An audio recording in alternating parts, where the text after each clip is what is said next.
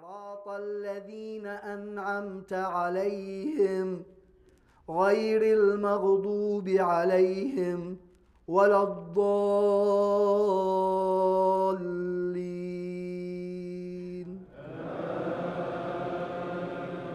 Like many other cities across the United States, Tucson is home to a growing Muslim community. واعلموا عباد الله أن الله تعالى أمرنا بأمر بدأ فيه بنفسه Imam Watek al Obaidi is the leader of the Islamic Center of Tucson.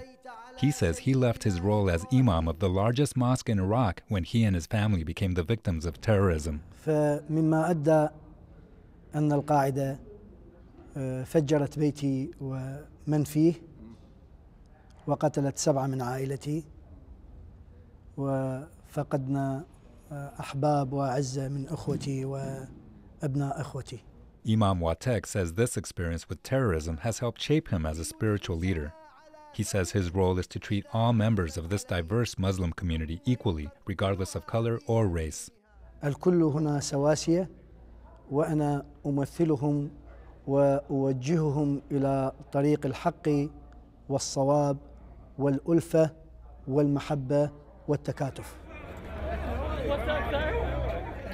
During Friday prayers here at the Islamic Center of Tucson, families and friends gather for a timeless ritual of Islamic faith. Since this mosque was built in 1980, the congregation has grown. Now, up to 700 people routinely attend prayer, and space is often at a premium. Since that time, this space now is becoming smaller and smaller for us, for the congregation, because of the community is growing. So we have a standing room only. I mean, basically the lobby is full and all that. So Maksud Ahmed is chairman of the board of trustees for the Islamic Center of Tucson. He says this mosque is unique because of its diversity. And he says the congregation has historically been made up largely of students and professors affiliated with the U of A. But recently there's been an influx of new Muslims. right now we are seeing a growing trend. The last 24 months, we have seen a lot of refugees uh, from uh, Somalia, uh, generally in Africa, and also Afghanistan. Uh, two of those areas have really uh, brought in a lot of refugees. Expansion is now underway at the mosque to accommodate the growing needs of the congregation.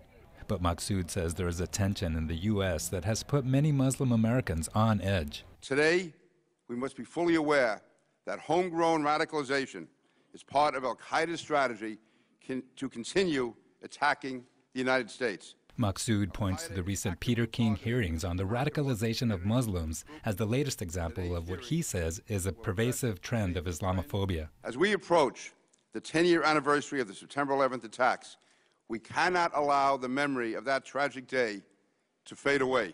He has really taken this issue, Islamophobia, to a next level, and where he is trying to legitimize it's okay to intimidate a Muslim, to tell them that they are, they are terrorists, to tell them that they are trying to enforce the Sharia law here, which is totally opposite to what Islam teaches us.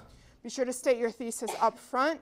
Also, be sure you have. Muslim Americans say anti Islamic rhetoric can often be traced to ignorance or a lack of understanding about Islam. Sure, so the class is called Islamic Thought. It's uh, an upper division class. It's also a general education class. Maha Nassar is a professor in the Near Eastern Studies Department at the University of Arizona.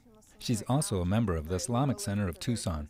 While there is a lot of Islamophobia that's been on the rise in the general public, I think among a lot of our students, particularly at the U of A, there's also an increased curiosity about uh, learning about the Middle East, learning about Islam from the perspective of Muslims and Middle Easterners themselves. Like, you're not allowed to touch this, that's the family law, that's the religious law. The diversity of the students enrolled in Nassar's course on Islamic thought suggests that there is deep interest in learning about the growing influence of Muslims in our society.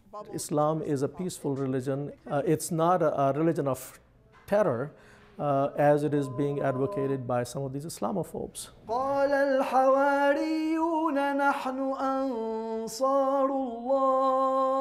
Imam Watek says the true approach of Islam calls for mercy, friendliness, and love. And the terror he and his family endured from Al Qaeda in Iraq has only deepened his faith. فلذلك أنا سأكون في كل مكان وفي كل منبر لتوجيه الناس نحو الإسلام الحقيقي الصحيح وهذه رسالة عاهدت الله تعالى أن أقدمها إلى آخر نفس. فأصبحوا ظاهرين.